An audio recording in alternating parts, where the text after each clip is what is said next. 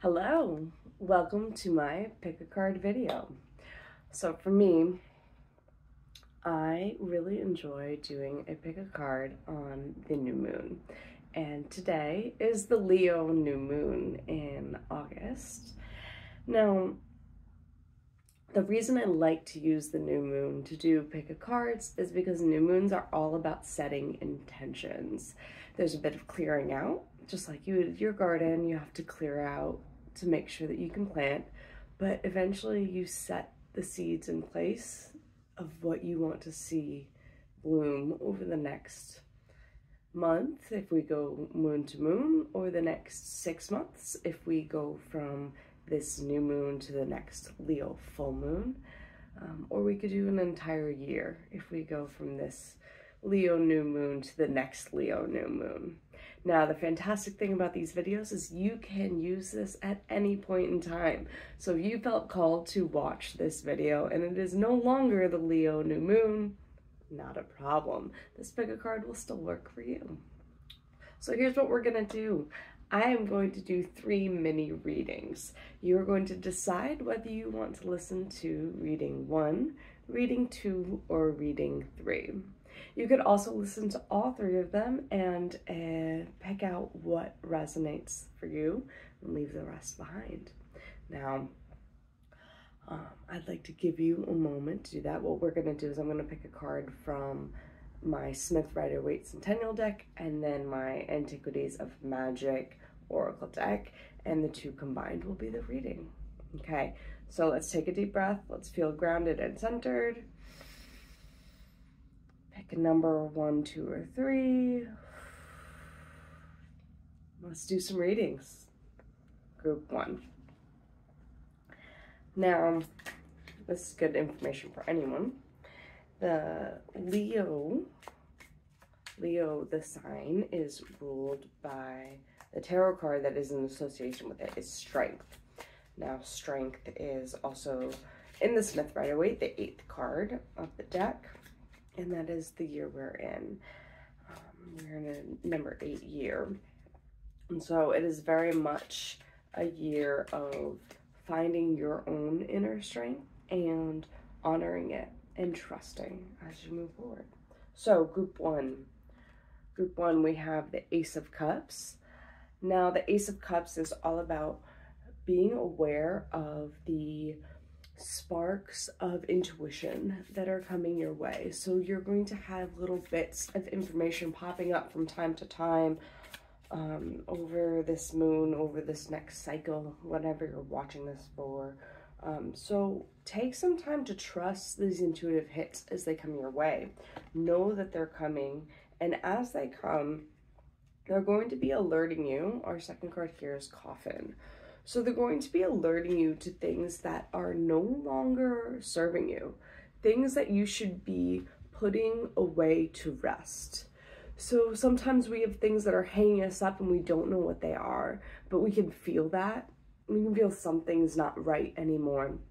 And so this new moon is the perfect time for you to pay attention to those hits as they come your way and go, you're right, this is no longer for me. And put that to the side. Go ahead, excuse me. Go ahead, let it go. Oh, well, that feels like a message. Yeah. So as you feel these intuitive emotional hits, as you're going through it all, there are going to be things that are said, you need to pay attention to me, you need to pay attention to me. And when that thing comes up, pay attention to if you're needing to pay attention to it because it's something you need to move forward with or it's something that you are no longer needing. And it's important just to sit for a quick second and go, you know what, that's not right for me. Um, a lot of us can feel that in our gut. Sometimes it's not our gut, but it's just a nudging and a knowing. And sometimes it does take a little bit to ride that wave and decide yes or no. But if you're getting these intuitive hits, really sit with them and decide um, what's for you and what's not. It's time to put some things aside. Okay, group two.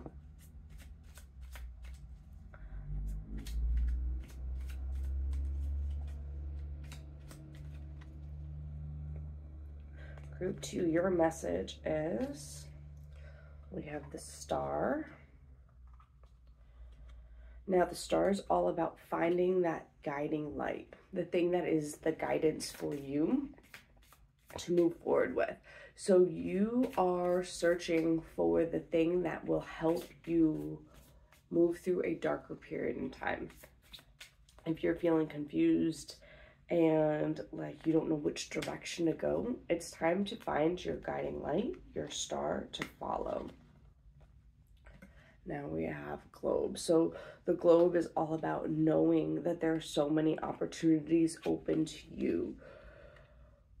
You're feeling the desire to venture out on something new, but there's this fear that you're not going to go in the right direction. So by at least picking that end destination, that going to, even if it's not a full place that you know you want to be, but it's a feeling, a desire. If on this Leo new moon, you're like, you know what, I really desire to find that luxurious way of living. And I want to know what that feels like for me. And I think that to do that, this is going to be an adventure. This is going to be something that I'm going to have to explore and really figure out what's right for me.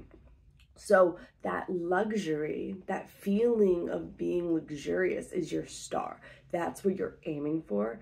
And you're taking your time to really explore and see what that right thing is. So don't rush the process. Just trust that you can find the balance between an emotional desire and groundedness and do that while aiming in a direction and trusting the process along the way. Go out, explore, try new things, and you'll be able to find the right path that'll lead you in the direction you want to go. That was group two. And group three. Let's see what your message is.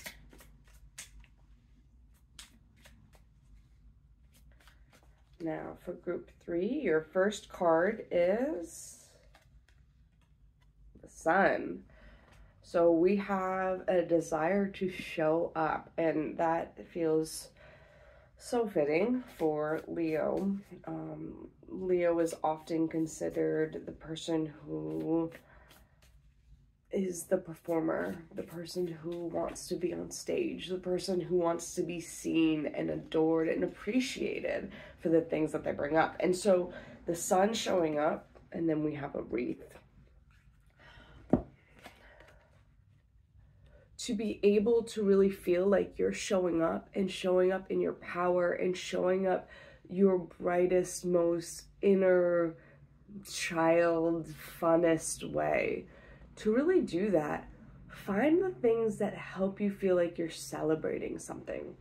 Wreaths are put on doors in times of celebration, they're put on spaces when you want to bring together this feeling of a circle, this feeling of power, this feeling of connection, um, knowing that we're all connected, but with beauty. And so, really, if you're trying to show up in a new way, if you're setting the intention, this Leo new moon, to be like, I'm going to be in my power, I'm going to shine bright, I'm going to let my inner child out, I want to soak up this Leo energy do so in a way that you're adorning your spaces with things that make you think of love and joy and celebration.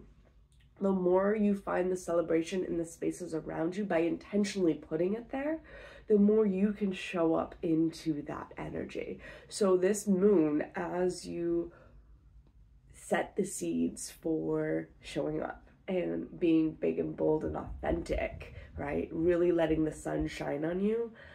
Spruce up your spaces and really adorn yourself and the space around you in those colors, in those things, in those ornaments that make you feel really special and bright and shiny. So the more you do that, the more you'll feel that desire of creeping up, of excitement. So every time you see it, it'll remind you of showing up and being present.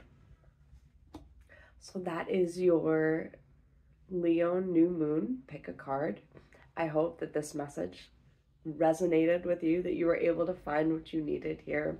If that wasn't the case, feel free to swing by and check out another video. I do a daily tarot pull called Tarot and Coffee for a little advice every day. Um, I do these pick a cards and um, I do personal readings if you book one with me. So come on back, subscribe. I do this on the regular. I'm so glad you're here. Good luck. Bye for now.